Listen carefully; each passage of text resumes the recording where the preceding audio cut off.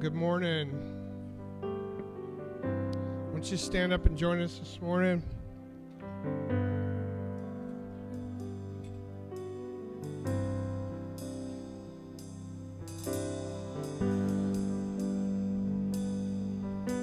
If you're joining online, welcome to Tree of Life in Pflugerville, Texas. Come on, let's just begin to give him thanks this morning. Open up your gates.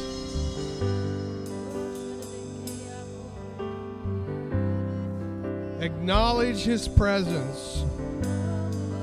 The Lord is here this morning.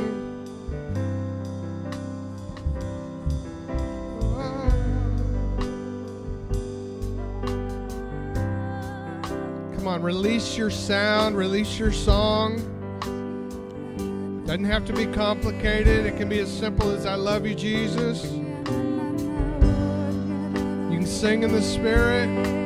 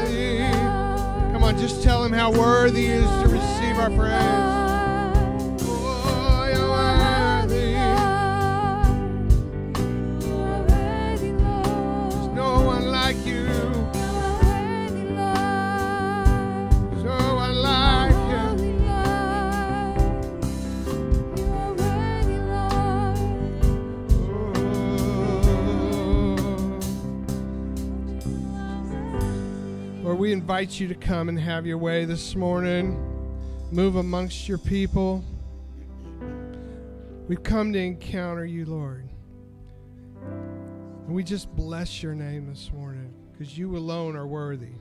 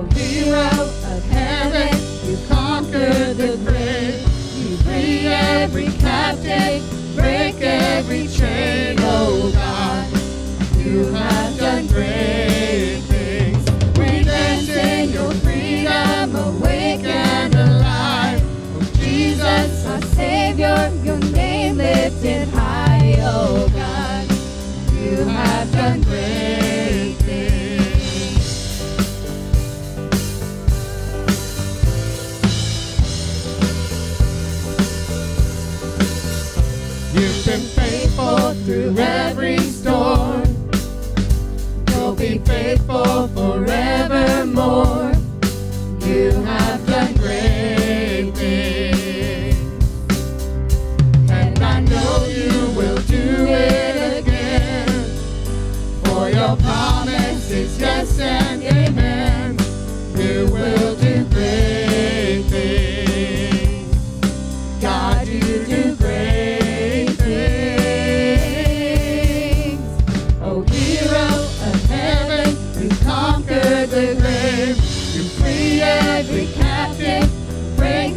Every chain.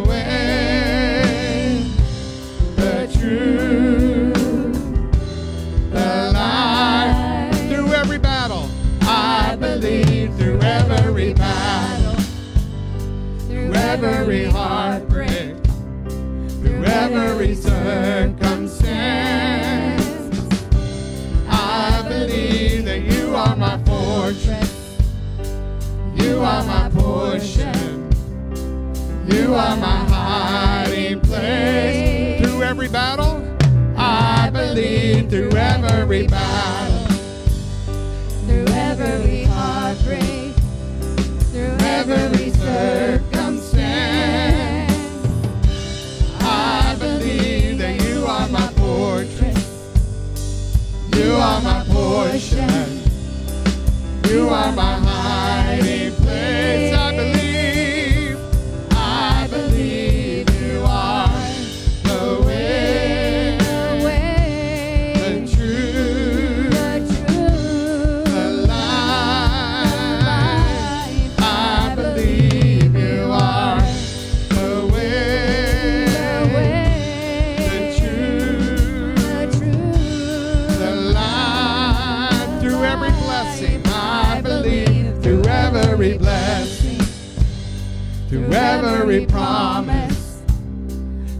every breath I take.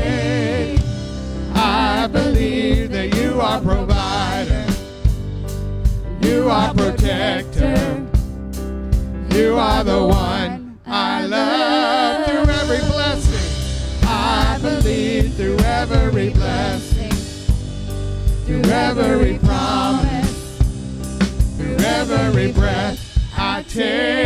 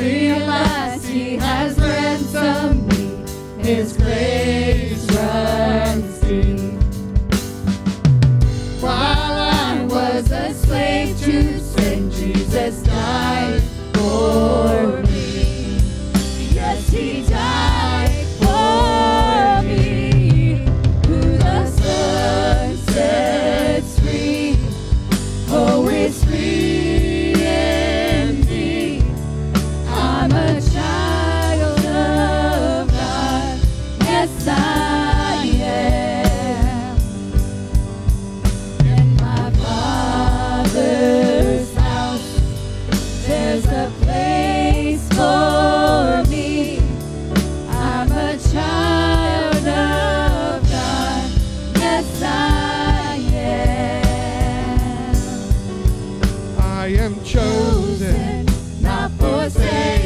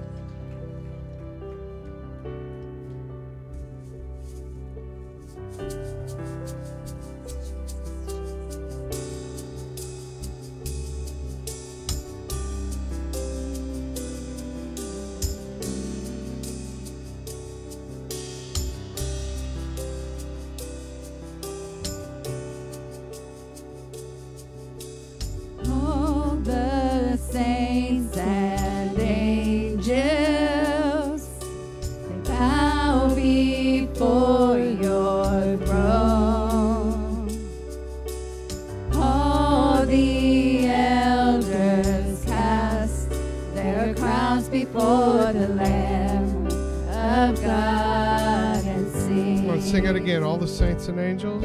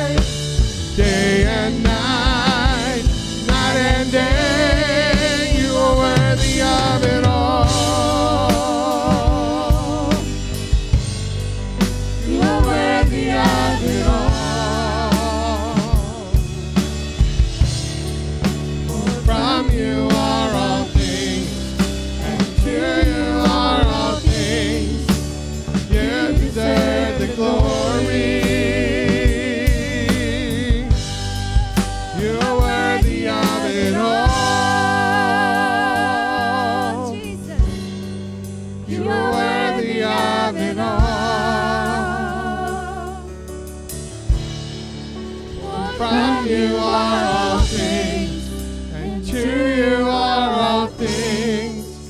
You deserve the glory. You deserve it. You deserve the glory. And I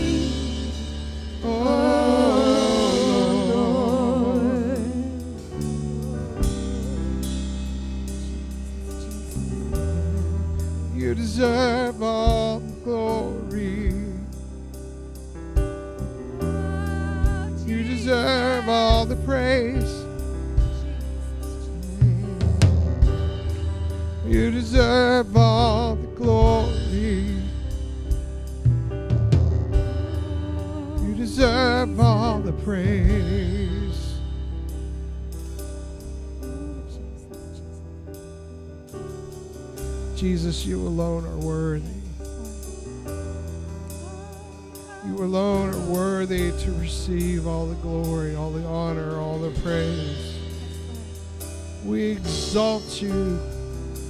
We lift you high, O Lord. And I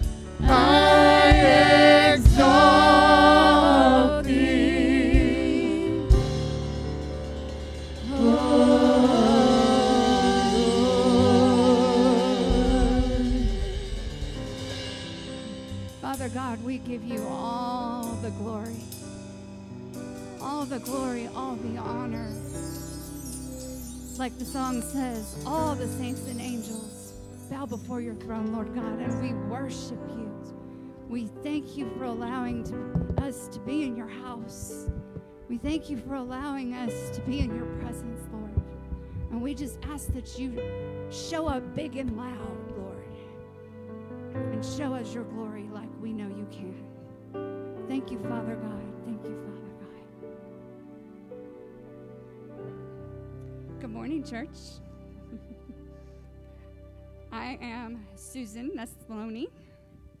Our pastors are taking a little mini vacay, so I hope they have fun and get rest and rested and are doing amazing. I'm like, how do I come down? I got my notes here. I'm trying. Okay. So how how's everybody? You good? Welcome everybody. Welcome uh, this church family, this beautiful church family. Uh, Thank you everybody here and online.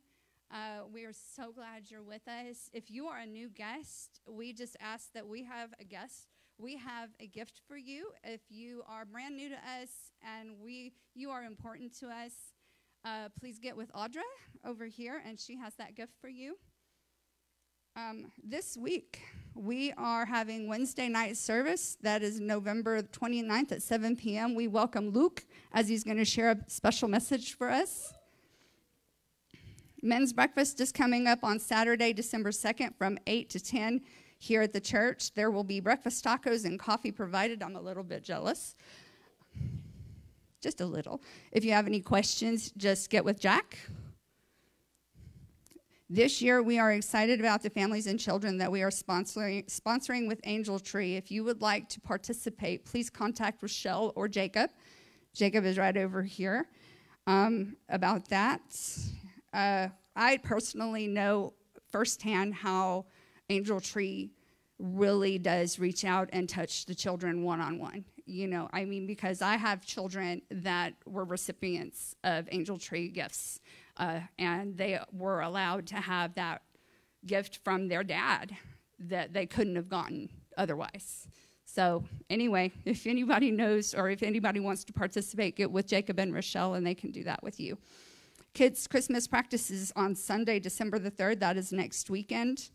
Uh, Treehouse Kids will be practicing their Christmas song right after church, and pizza will be served. Uh, the next book club meeting will be on Tuesday, December the 5th at 7 p.m. at Audra's house. This month, the group is reading A Million Little Choices by Tamara Alexander. Please bring your favorite treat to share. Uh, if you have any questions, just contact Pastor Cheryl. Uh, the Christmas special will be here at TOLC, will be on Sunday, December the 10th during the service. And I hope everybody is doing amazing. And now we are welcoming our special speaker, and Jack Adams.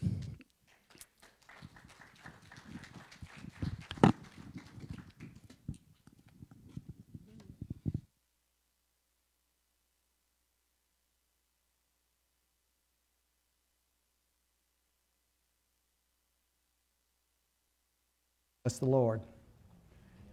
Hallelujah. It's good to be in the house of the Lord.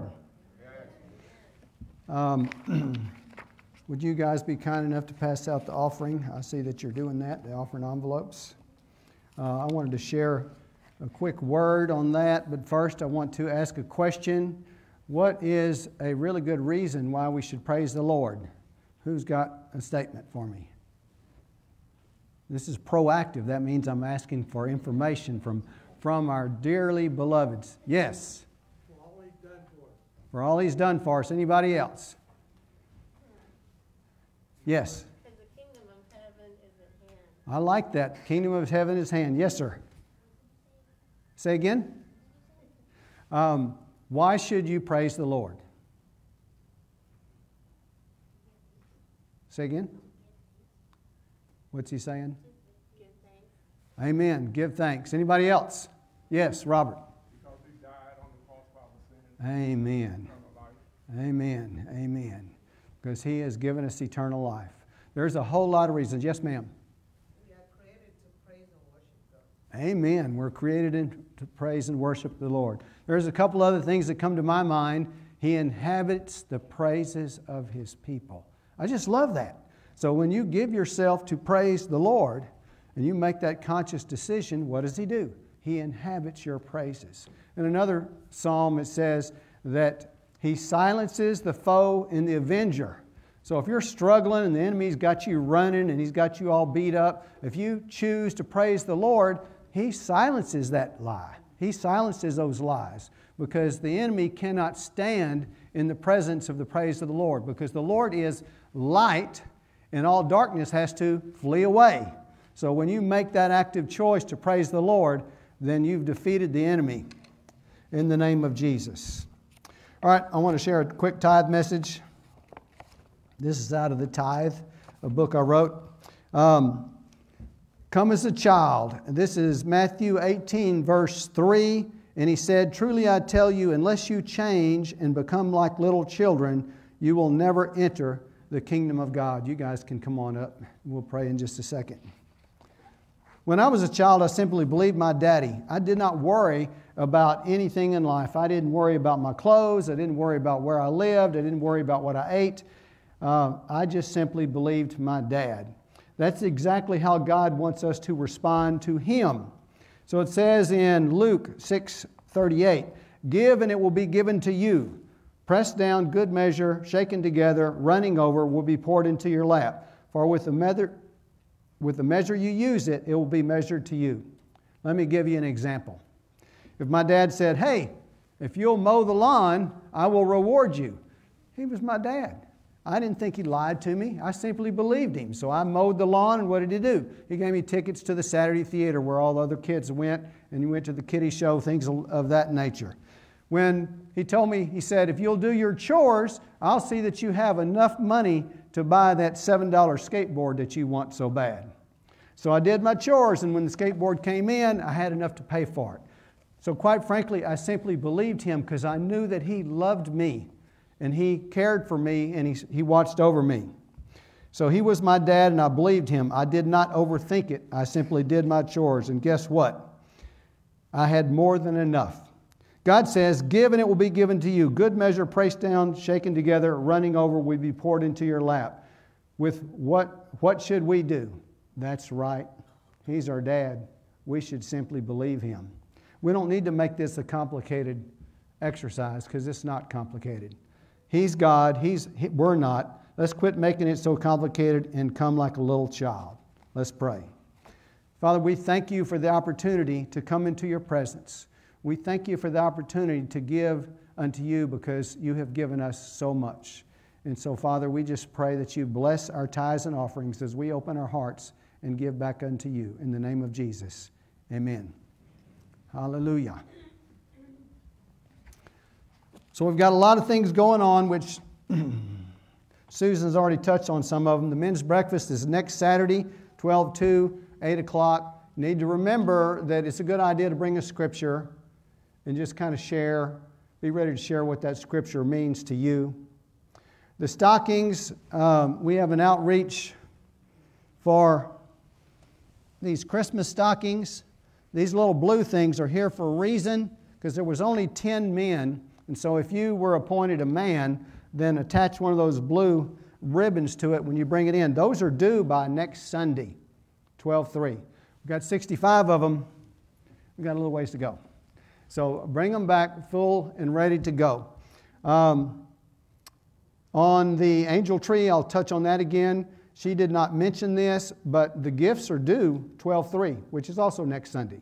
So make sure you get the gifts back so we can give them to uh, the, the right people. Um, the youth, you may be released. Thank you so much. Y'all have a great meeting. We love you guys. Thanks for all that you do. Enjoy the Lord. The nursing home outreach, if you want to participate, everybody is invited. So, what are we going to do? That's going to be on 12 9 Saturday, and that's going to be like 10 in the morning. To make it easy, we'll meet here at the church at 9:45 and we'll caravan over. So all we're going to do is go over there and sing Christmas carols. We've got a whole bunch of blankets that people have provided. We've got all these Christmas stockings. We plan on singing four or five Christmas carols and just letting those dear ones know that they're loved and they're cared for because God loves everybody. And I don't want to be rude or I'll just tell the truth. A lot of those people that are in nursing homes are just forgotten about. So we have a chance to go in there and love them and care for them and let them know that God loves them. And so that's what we're going to do. We're going to sing four or five Christmas carols. I'll bring a message and we'll give them all these gifts and we'll uh, just cover them with God's love. Okay? Any questions on any of those things? Okay.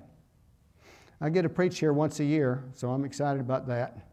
But also, everybody's traveling, so there's only half of us here, but that's okay. Uh, it just shows Mike doesn't trust me to a full congregation yet. and that's okay. So if I make a mistake, he can fix it, and he has fewer people to talk to and say, he just really messed up. I'm sorry. But anyway, we will press in and enjoy the Lord because God is gracious.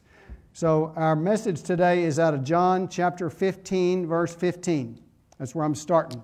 I tend to use a whole lot of scriptures, and I think they're going to be up on the board, but we'll see. Hallelujah. John 15, 15. No longer do I call you servants, for a servant does not understand what his master is doing, but I've called you friends, because everything I've learned from my Father I've made known to you. So this was Jesus talking to his disciples not too long before he departed from the face of the earth. But out of that scripture, a very popular song sprung forth. I think it was 8 to 12 years ago, out of John 15 15, is where the song came from I am a friend of God. So I remember when that song came out, it was extremely hard for me to sing it because, you know, I'm kind of like the Missouri people. You got to show me. There's proof in the pudding. I got to know that I'm a friend of God. I can't just sing that song assuming that I'm a friend of God. So my heart went, What does it take to be a friend of God? So I was negated. I was not able to sing that song because I was afraid, or I respected God enough to know wait a minute, let me see the proof. So I had to do some research. So that's how my heart works. That's how my brain works when I'm coming to God. I got to know that it's real uh, before I can just jump up and worship God on a song like that. So the real question was was I a friend of God? I knew that I was born again because in 2 Corinthians 5:17 it says, "Therefore if anyone is in Christ, he is a new creature. The old is gone, the new has come." I went from not being aware of God's love to overnight, now I was, able, I was not able to escape the love of God. It was around me constantly. I was indeed a different person. And that is available for any human being on the face of the earth. Put your faith in Christ Jesus our Lord, because that's where salvation comes from. But the question was Did that make me a friend of God? I wasn't sure of that.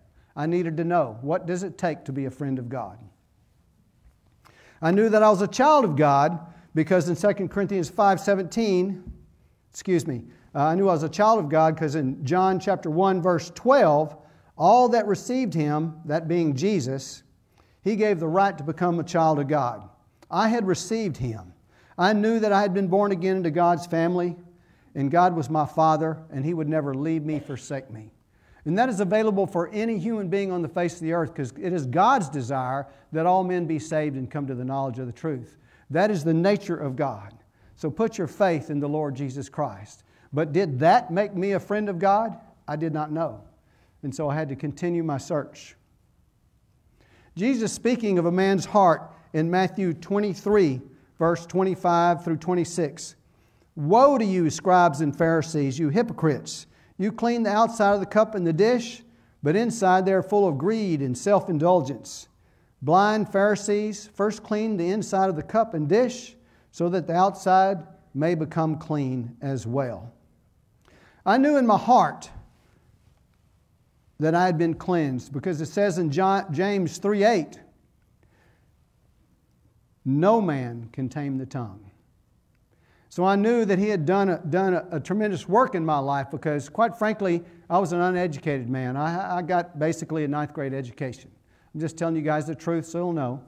I did eventually go to college. I got a GED, but only went to college a year or two, so that really doesn't count much. But ninth grade education is where I came from. Basically, didn't speak very well. And so I had a really large group of friends that I ran with, really wonderful guys. We were you know, you, you guys that are my age know, understand what the good old boy crowd is. Well, I was part of the good old boy crowd. There was about 30 of us, and we all fellowship, but I cursed like a sailor. I would say every fifth word out of my mouth was a curse word. Well, why did I do that? Because I thought it made me feel intelligent.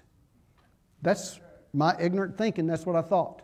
And so it was just it was just like getting up in the morning to have a curse word flow out of my mouth. It was just automatic. I couldn't stop it. It was just automatic.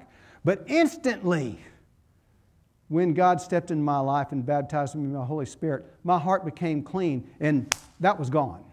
Just like that. So I knew the Bible says no man can tame your tongue, but Jesus can tame your tongue. Because he had cleaned the inside of the cup first. And now I became clean. And that's available for anybody on the face of the earth. Why? Because God is not a respecter of persons. So put your faith in the Lord Jesus Christ because He can do those things instantly in your life if you need them. But did that make me a friend of God? I didn't know. I needed the proof that I was a friend of God before I could willfully sing that song. It is written in Philippians 4 7. And the peace of God, which surpasses all understanding, will guard your hearts and minds in Christ Jesus. I knew that I had received God's peace, you see, because I was once a tormented man. I was so tormented that I contemplated suicide, things of that nature. I was so tormented that, that I didn't know if I could hang on much longer. But I went in my bedroom one night and I called out to the Lord with everything that I had within me. Now, please keep in mind, I was instantly changed, but really there was five, ten years of me, of God planting seed in my life that finally brought me to that place. But I went in my bedroom and, and, cried out to God one night with everything I had within me, and I said, If you are real, you have to prove yourself to me. You have to prove it because I'm not going to believe it. I do believe there is a God, but I want, and I believe if there is a God, He must love us because He created us. So you've got to prove to me that that is real. And Jesus walked in my room that night. Now, guys, I didn't see Him with my human eyes, but there's no question that He was there. And I don't know why he does the things he does, but he knows our DNA, every one of us. He knows us inside out. He knows what you need, he knows what I need. And he picked me up like a little baby, just like that. And he rocked me in his arms. And he spoke wonderful things to me that night. And he told me that people would call out to me because I knew the way of salvation. He told me, and that's been true my whole life. People have come to me and said, Do you know the way? Do, do, can you tell me about this God that you serve? And he told me that I would go to the nations. I didn't go to the nations for 25 years, but 25 years later, I did. And I've been in many countries in the world because of the things he spoke to me that night. My point is, God is not a respecter of persons. And what He did for me, He will do for you. He will reveal Himself to you because He loves you, He cares for you. And He's not a religious God that's stuck on the pages of a Bible. He's alive and well on the planet Earth. Remember, He rose from the grave. He's no longer in the grave, but He is spirit. You can't see Him, you can't touch Him, you can't feel Him, but He will move into your heart and He will make things known unto you. He will tell you things of your future, just like He did to me that night. And I became a changed person. I walked out of that bedroom and I was different. And I had received the peace of God that passes all understanding. And for a tormented man, I used to say things in my young, ignorant, mm, ignorant youth. Not, I'm not going to say ignorant Christianity, but in, in my ignorant youth, in my Christian walk, I used to say things like, I didn't even, it didn't matter to me about eternal salvation, but it mattered to me that I had the peace of God. I mean, if my life ended and I didn't have eternity, I was okay at that point in my life because I had the peace of God. When you're a tormented person and now you have the peace of God, it makes the world a difference. Matter of fact, not walking in the peace of God is absolutely foreign to me. I don't understand it when I'm not there. I'm going, what is this? And of course, it doesn't take me long to get back into His presence. But make no mistake, I'm 70 now. I'm no longer a young Christian. I've walked with God over 40 years. And yes, I covet the eternal salvation that we have and the eternal walk we're going to have with Him when we leave the face of the earth. It is wonderful, and it goes on into all eternity. Matter of fact, the Bible says that. One second, it'll come to me that the increase of his government will continue all the days of your life. And that means on the face of this earth, where you are five years in your Christianity to 40 years in your Christianity, you won't be the same place. You will grow in the things of the Lord. You will become more peaceful. You'll become more like Jesus as you walk with Jesus. And then it goes on into eternity. And the increase of his government just keeps on growing. Mike likes to talk on those things a little bit from time to time, but the truth is, we ain't going to be bored when we go to be with Jesus. But that still did not answer the question. And the question was Was I a friend of God? I needed proof of that. I needed to know that that was the case. Acts 19:6 says, When Paul laid his hands on them, the Holy Spirit came upon them, and they spoke in tongues and prophesied. I knew that I had received the baptism of the Holy Spirit because I was praying in tongues, I was prophesying, I was having dreams and visions and things of that nature. When I walked out of that bedroom that night, I had spent, prior to that, two years in bad doctrine of people telling me, this is how you walk with God, this is how you receive salvation, blah, blah, blah, blah, blah, blah, blah. And they had me believing that junk. But when I walked out of that room, you couldn't lie to me. That was one of the things that he did to me. And I don't know if any of you guys were, um, uh, it's not Star Wars, um, that one that was on TV. Star Trek. Star Trek, thank you. Star Trek, but it was the next generation, and they had the black blind guy that had this thing on his eyes, and it would go back and forth like this. Y'all remember that guy? Yes. Okay. All right, so that's literally, and that's this is no joke, guys. That's literally how I was. You could tell me anything about the kingdom of God, and the Spirit was just searching everything, searching, searching, searching. And He would just tell me that's truth, that's not truth, just like that. You could not lie to me. And it, it was so important in my life because I had been lied to for two years. And so now the Holy Spirit dwelt within me, and He will bring you to all truth. That's one of His jobs, that's one of the things He does. And so he was searching everything that was told to me. But did that make me a friend of God? I did not know. I needed to know if I was a friend of God. It was very important to me because I wanted to sing that song. I wanted to sing it with all my heart. But I had to know was I a friend of God? In Luke 10 17 through 29, it says, The 72 returned with joy and said, Lord, even the demons submit to us. He told them, I saw Satan fall like lightning from heaven. Behold, I've given you authority to tread on snakes and scorpions and over all the power of the enemy. Nothing will harm you. Nevertheless, Do not rejoice that the spirits submit to you, but rejoice that your name is written in heaven.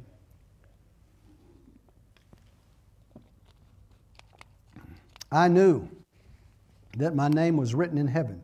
Why? Because when I cast out demons, they left. I'd come across them in my, in my tenure at preaching at missions and things of that nature. I've had them sit out in the congregation and try to mock me, and I've just told them to shut up in the name of Jesus, and they didn't open their mouth again. I've run into them in Nepal and India, places like that, and they try to disturb services and they try to torment people, but they must go in the name of Jesus Christ. And those things were happening to me, and I knew that the power of God was invested in me, and I knew because of that that my name was written in heaven. I wasn't scared of the devil I wasn't scared of Satan's tactics or anything of that nature. None of that feared me. Why? Because when Jesus was walking on the face of the earth and he was walking in the will of God, you might remember several times they wanted, one time they wanted to cast him off a hill, a cliff, and he just walked right through them. So when you're in the will of God, you don't have to worry about those kind of things. You don't have to worry about death and things of that nature because God's anointing is on you. And so you're going to finish your race. Does it mean that you might not be martyred? Hmm, you might be martyred. But if you are martyred, you will have the grace of God to walk through that, smiling with the joy of the Lord on your, on your face. There's a, I used to read a book. Unfortunately, I left it on an airplane, which really grieved me, but I'd read it every year. And it was basically a list of all the original 12 um, and how they were martyred and about their lives. To, to the best their ability, they told the story through original text and, and old writings and things of that nature. But Andrew was the one that I was amazed at because the, uh, the guy that decided to kill him put him on a cross and uh, didn't feed him or anything. And thousands of people came. They didn't put nails or anything, they tied him to the cross. Uh, thousands of people came to see him, and he continued to expound on the love of God for three or four days while he's hanging on a cross. That's the grace of God that comes upon you when you're walking in his will. That amazing grace, things of that nature. So you're not going to go before your time if you're walking in his will. And just because I wasn't scared of Satan and just because my name was written in heaven, did that mean that I was a friend of God? I did not know. My search continued. In 1 Corinthians 15, 55, and 57, it says, Where, O death, is your victory? Where, O death, is your sting? The sting of death is sin, the power of sin is the law. But thanks be to God who gives us the victory through Christ Jesus our Lord. I knew that I had received eternal life with the forgiveness of sins. You see, Prior to becoming a Christian, I feared death. I was, it horrified me. I remember the first time I saw a dead person, I didn't want to see that dead person because I knew that was the end result of all human beings, and it scared me to death. But once you become a Christian and your name is written in heaven, you don't have to fear those things because the fear of death is what? It says it's sin. Sin has been satisfied. Jesus made a mockery of sin. Sin can't keep you from the kingdom of God.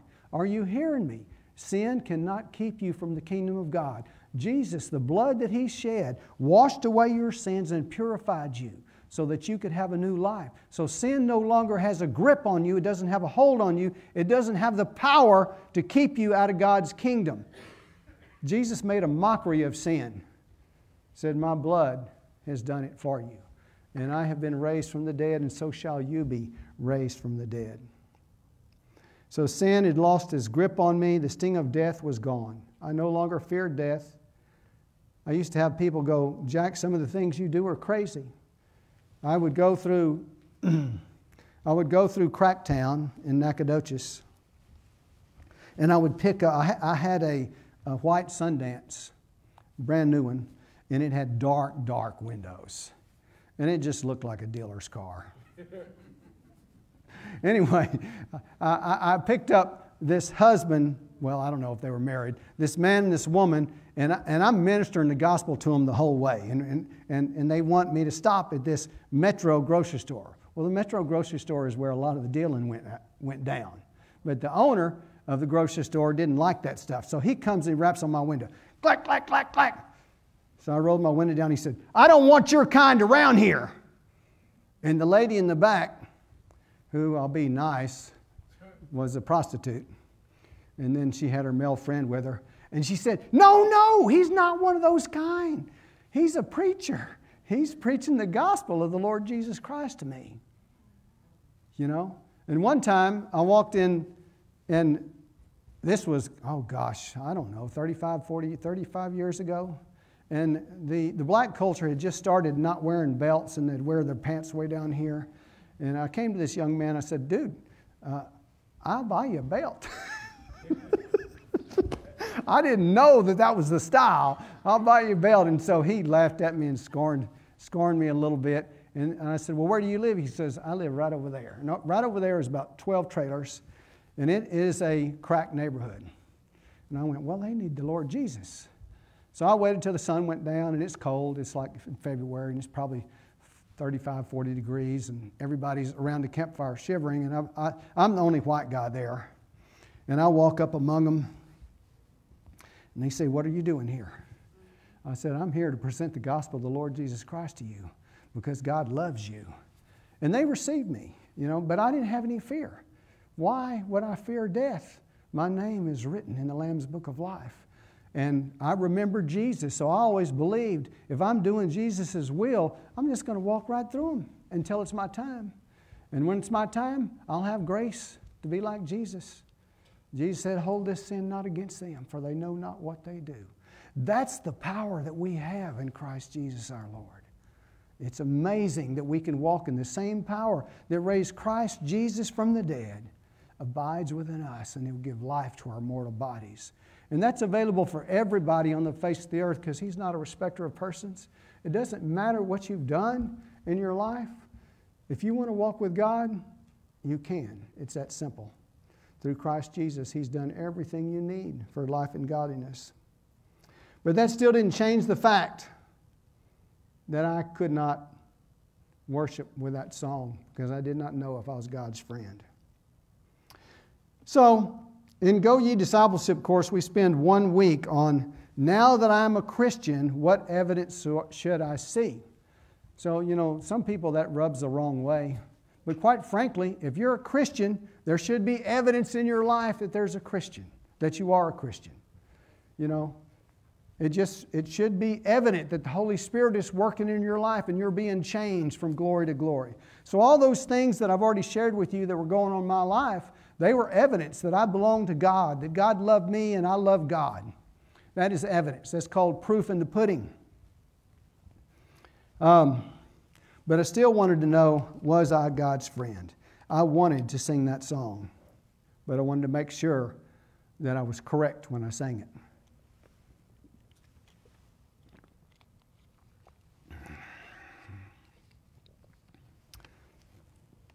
So, Greg, I hope this doesn't rub you the wrong way. Probably won't. in all my years of walking with God, I found that those that are gifted in writing music don't necessarily have lyrical doctrine correct. It's probably correct to them when they write it because they have a pure heart and God has done something mighty in their life. Okay? Uh, but it's not necessarily doctrinally correct for everybody out there that might want to sing that song. Romans 8:28 says, "And we know that God works all things together for good, that those who love God are called, called according to his purpose." So that song may not have been doctrinally correct, excuse me, that song may have been doctrinally correct for the guy that wrote it, but it certainly wasn't doctrinally correct for most of the saints that were singing it. And I wasn't sure it was doctrinally correct for me and that's why I couldn't sing it. Because I wanted my, my heart to be clean before God. I wanted to make sure before I opened my bowels and let the, let the praises of the Lord go, I wanted to make sure what I was singing was truly correct in my life. Not that I was a legalist, that's not what I'm saying. But I, I, it's just my walk with God. I had to make sure that I was clean.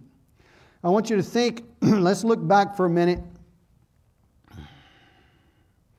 Did you know that you can be a child of God loved by God and not be his friend.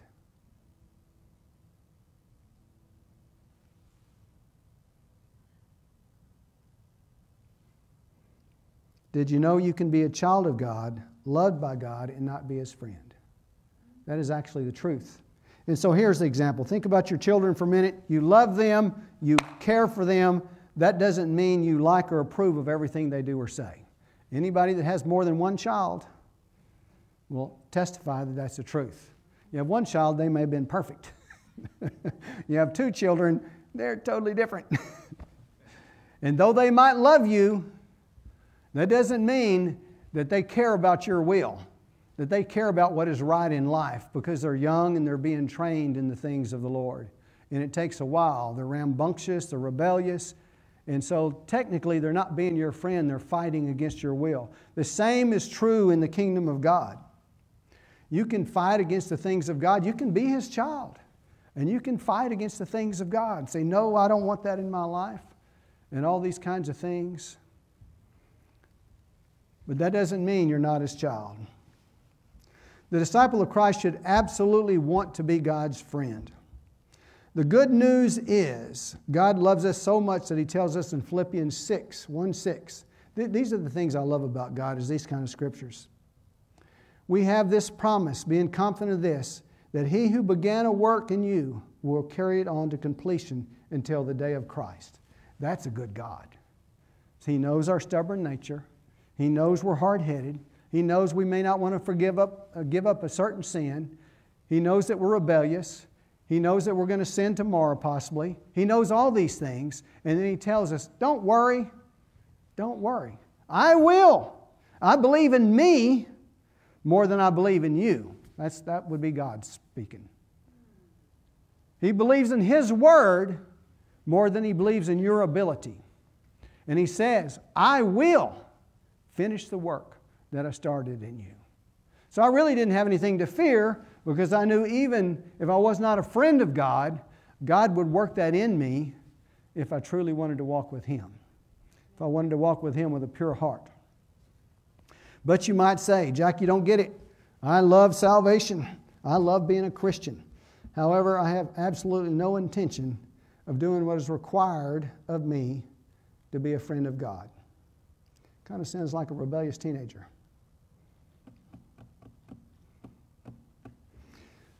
the Lord would say, You are my child. You can take this as a prophetic word. You are my child, and I am faithful. Philippians 2.13, we find, For God, I love this, listen closely.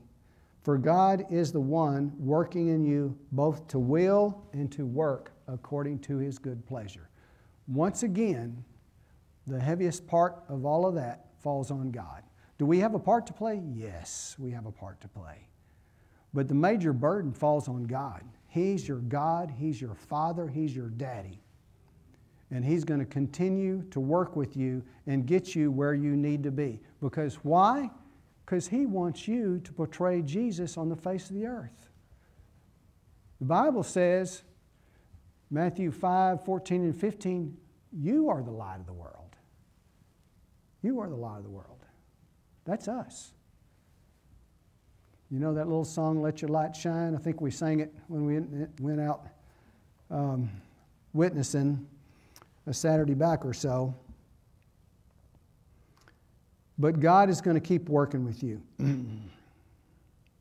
so, what are the requirements to be a friend of God? Jesus put it this way in Matthew 22 37 38. Love the Lord thy God with all your heart, all your soul, with all your mind. This is the first and greatest commandment. And the second is like it love your neighbor as yourself. And it goes on to say in verse 40 all the law and the prophets hang on these two commandments. Everything hangs on those two commandments, everything. So that takes legalism that you might want to wander into to prove yourself worthy to God, it takes it out of the equation. It's all about the love. With God, it's always about the heart. If He has your heart, He has you. If He has your heart, He has you. So even if you're like me, I was very rebellious. I had what I called a stiff neck, very stiff neck. And you had to prove it to me in the scripture before I was going to humble myself before the Lord and let Him change me. I remember, and y'all have heard me say these things before, I did not believe you had to have a license or uh, ordination to preach the gospel because it says we're all ministers of the gospel. So, literally, in my stiff neck, I refused to get ordained. There was a refusal there. I will not do that. And so, those are the kind of things that were really hard for me to overcome. But God, who is faithful, He will change your will to act and do according to His good pleasure. I knew I didn't need a license or things of that nature. But I remember back in Nacogdoches when the Lord came to me and said, I want you to run the March for Jesus in all of East Texas. So it was a pretty big event. And I was going to be speaking at church after church after church after church, trying to rally the troops, get them to go out in the streets and the highways and byways and sing praises to the Lord with banners. Anybody remember March for Jesus? Okay, we got, we got a few. It was a huge event, and it went on for several years. Um, well, the Lord said, I want you to get ordained. And I went, What? That was my response. I said, You know I don't want to get ordained. And he said, It's not for you, it's for them. And that pierced my heart. In other words, all those churches weren't going to receive me unless I had papers proving I was bona fide. So now I had to get papers to prove I was a bona fide preacher man. And then I had the right to come and speak in their churches. And so that's why I got ordained. But those are the things that he did in my life to get rid of my stiff neck, you know, things of that nature. Um, it didn't matter to God, but it mattered to men. And I was be, going to be ministering to men. Anyway, that was a very successful time and I'm very grateful that, that God worked a lot of that stiff neck out of me. he will continue to change you from glory to glory if He's got your heart. So remember, if you've been in my discipleship class, you've heard me say it's always about your heart with God. It's not about legalism, it's always about your heart. He's not worried about what sin you are currently tied up in. That might ruffle some feathers. He's not. Jesus took care of that. He knows, he knows the power that is in Christ Jesus' blood. He knows that if he has your heart, he's not that, that sin is just, you know, that's just whatever. It's like a fly flying around and he just swats it and he goes away. He can deal with that. He's already dealt with it at the cross. So you don't have to fear those kind of things because the enemy will come to you and say things like, yeah, you can't come back to God, you've sinned too much, blah, blah, blah, blah, blah, blah, blah. Baloney. Christ Jesus' blood was enough. It was enough. It doesn't mean I'm, I'm trying to say it's okay to walk in sin. That's not what I'm saying. But if sin is what's holding you back, you don't have to fret. Because if He's got your heart, He will move you away from that sin sooner or later. He will do it because He's faithful. He will work in you the will and to good to do His good pleasure. He will deliver you and He will continue to mold you into the image of God. So I'm still looking at what it takes to be a friend of God. The Apostle Paul put it this way in 1 Corinthians chapter 13, verses 1 through 8. If you speak in tongues of men and of angels, but have not love, I am only a ringing gong or a clanging cymbal.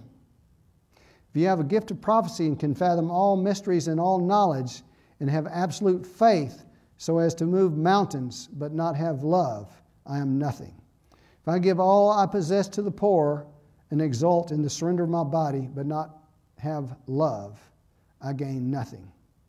In reality, if you think about that for a second, it's kind of where Paul was when he was Saul, when he was a Pharisee. He was doing all these things that he thought was right before God, but it was all legalism. You got it, and, and, and, you know, the next set of scriptures I'm going to read are the scriptures people read at, at all these weddings, but it really shouldn't be used just for wedding scriptures. And, and it even becomes more impactful when you understand that the Apostle Paul, when he wrote this, he had probably already been beaten 40 times minus one numerous times. He'd been beaten with rods, he'd been shipwrecked, he'd been cold, he'd been naked, he'd been without food, and yet he's able to write this. Love is patient. Love is kind.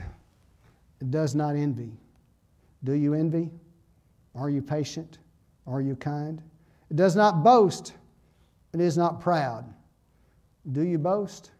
Are you proud? It is not rude. It is not self seeking. It is not easily angered. Are you rude? Are you self seeking? Are you easily angered? It keeps no record of wrongs. Ooh, that's powerful. How many of us keep records of wrongs with our children, with our spouses, with friends? Love takes no pleasure in evil, but rejoices in the truth. It bears all things, believes all things, hopes all things, and endures all things. And then it goes on to say, Love never fails. Love never fails. This is God's love we're talking about. The Apostle Peter put it this way 1 Peter 4 8. Above all, love each other deeply because love covers a multitude of sins. The love of God that you walk in toward your fellow man covers a multitude of sins in your life and in their lives. It opens the windows of heaven when you walk in that kind of love and that kind of forgiveness toward your fellow man when they don't deserve it and you choose to walk in it anyway, it opens the windows of heaven for them to come in and receive Christ Jesus is Lord. Because it's mind boggling to them. They can't understand that. How can this person do that? That is power. You have been uh, given a God given ability to cover a multitude of sins. Apostle John put it this way in 1 John 1:10. Whoever loves his brother remains in the light, and there is no cause of stumbling in him. Wow. See, when we're walking in God's love toward our fellow man, we remain in the light of the gospel. And then we don't get tripped up so much. We don't stumble, we don't trip, we don't fall, we don't fall in, in the ditch on the side of the road because of our own selfish desires. A lot of times when we're having trouble, it's because we're selfish. But love keeps you from stumbling when you're walking in the love of God, in the light of the gospel of the Lord Jesus Christ. Very powerful. And so, what is the evidence that I'm a friend of God? That's what I was ultimately searching for. And so, it starts off in John 15 14. He says, You are my friend if you do what I command. Well, what is he commanding us to do? 1512 answers that question. This is my commandment that you love one another as I have loved you. This is my commandment that you love one another as I have loved you. 1 John 4 8, because God is love. So I want to look at that for just a second.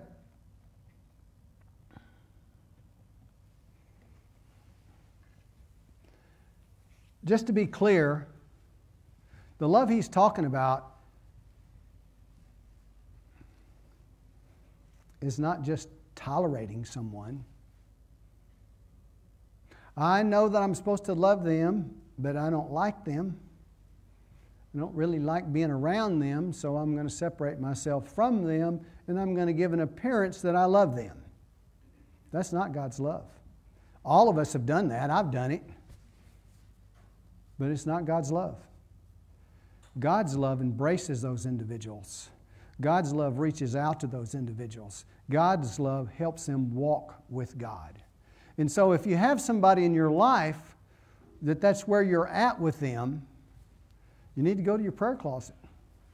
I've had to do it numerous times. And please understand, we can't do these things in our flesh. You can't do them in your flesh. It takes the power of the living God in you the Spirit of God that lives within you, He will give life to your mortal bodies. That's the promise. And so when we see that we're acting contrary to the will of God and we're just tolerating someone because and putting on a fake facade so they will think that we love them, but I don't like their personality, I don't like the way they talk, I don't like the way they dress, I don't, I don't like the jokes they make, blah, blah, blah, blah, blah, blah, blah. Well, you're not helping that individual. You need to go to your prayer closet. I know I had to do it. There was one time, I won't mention names, but I was on a mission trip and we had a very successful trip. At the end of the trip, I was fried. My brain was just shot. I could not comprehend. I, I couldn't think. I was just burnt up. And, and, you know, everybody went into the main room and they were fellowshipping. And I said, hey, can I excuse myself and go lay down in the other room? Because I've got to rest. And they said, sure, that's fine. So they're all fellowshipping, having fun, enjoying each other's company. And, and so I lay down and rest, and everything's fine. I get on the plane and come back to the States. and then I'm going on another mission trip about a month later.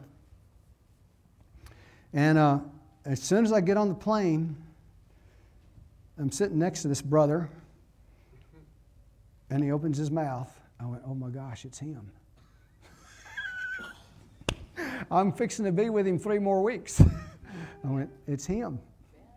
I went, God, you got to do something here because I'm in trouble. I could not. It was like a, a chalkboard. and it was driving me batty. And of course, I went to my prayer closet because you can't gut it up. You can't gut it up and decide to love them. That's not how it works. You got to humble yourself before the Lord and get in your prayer closet and repent and say, God, I need your help. And that's what I did. And now I can love that brother. It doesn't matter uh, that it used to be offensive to me and really cause me problems. But remember, you got to seek the Lord, humble yourself, and come into His presence and let Him change you. And that's what happened. so you don't want a fake love, you want God's love. in the name of Jesus, because God is love. Remember in John 3:16, the Bible says, For God so loved the world that he gave his only Son, that whoever believes in him shall not perish but have eternal life. That is the nature of God. And this scripture in Ephesians 5:1 is always just, I marvel at it. It says, Be imitators of God. It wouldn't say that unless we can. Are you hearing me?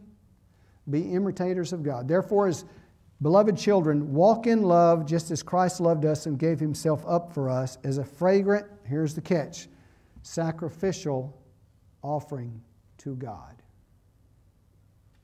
So that's what we are, as we are a sacrifice to God. To walk in God's love, we are literally a sacrifice to God. John 15, 13. Greater love has no one than this, that he laid down his life for his friends.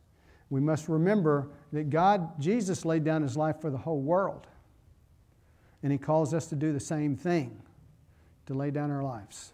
When he says lay down his life for your friends, he's really saying lay down your life for all humanity. And that is a sacrificial thing. That is crucifixion of your flesh. Knowing what God's will is and doing it, you are crucifying your flesh knowing what God's will is and refusing to do it, you're a clanging cymbal. You're not really making a difference. And God wants you to make a difference on the face of the earth. So, greater love has no one than this, that he laid down his life for his friends. So, that's what he's talking about. When he's talking about, I'm a friend of God, you have to be walking in the love of God. And so now that I understood that, I could sing that song because I realized that I was God's friend because I love humanity. And when I wasn't loving humanity, I was smart enough. Hmm, I don't like the way that sounds. Um, I was convicted enough by the Holy Spirit to let Him work in me to send me to my prayer closet when I wasn't acting in love. And then let Him do a number on me. So we have a promise that goes with that. When we walk in this manner, we are truly a friend of God. So, what is the benefit when you walk in the love of God? People get saved. And we walk in the joy of the Lord. And it addresses that in John 15 11. I have told you these things so that my joy may be in you and your joy may be complete. So, if you're a child of God, full of the Holy Spirit, and you're not walking in the love of God, your joy is not going to be complete. It can only be complete when you totally surrender to Him and let His love flow through you. And when the Holy Spirit convicts you of wrongdoing, then you go to your prayer closet and get clean. So now I could sing, I am a friend of God. So that was the proof in the pudding, was that I love humanity and I love people. And when I don't do it, I allow the Holy Spirit to convict me and I go to my prayer closet and get it corrected. So, my question to you is how many of you want to be a friend of God? Amen. I like that. Um, the Word of God, the way it works, Greg, could you come up, please? When you hear the Word, and if it convicts you, there's power to overcome those things. So if you need help in that area, I would ask you just to come up here and I will pray for you guys. So if you think you need help in that area, come on up. If you don't feel you need help in that area, I am really excited.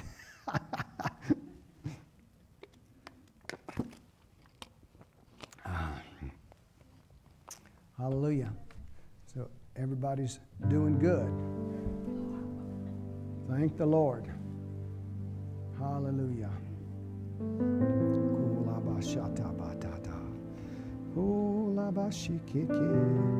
I've given my life to you, says the Lord, so that you could serve me.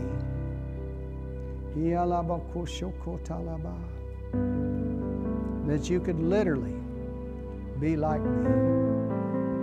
For it is my desire, says the Lord, that you walk as I walked on the face of the earth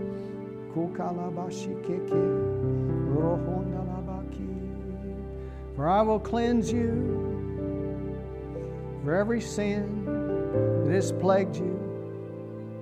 I will separate you from everything that has held you back. I will give you confidence in my kingdom. And you will learn my word as you spend time with me. For it is my desire that you discern evil from good. And that comes from knowing my word. So I encourage you, my children, spend time in my word, and I will separate darkness from life, darkness from light in your life. I will free you of all your idiosyncrasies, and you will walk in my power. For I have loved you and given myself for you so that you could have new life. In the name of Jesus. Father, I thank you for my brother.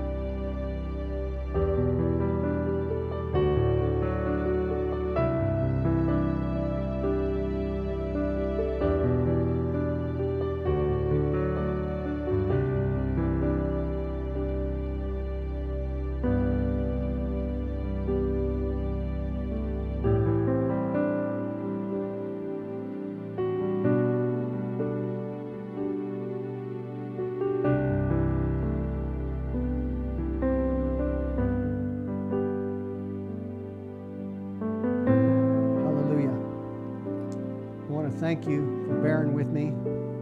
I want to thank you because God is gracious and He loves every one of us. And He's going to live big in every one of us because you are the light of the world. Jesus rises in your heart every day. Choose Jesus. Don't choose the sins of your flesh. Don't choose your selfishness. Choose Jesus because He is the light of the world. And when you choose Jesus, it sets people free and you walk in the joy of the Lord. Jesus. Okay? And be blessed. In Jesus' name. Amen.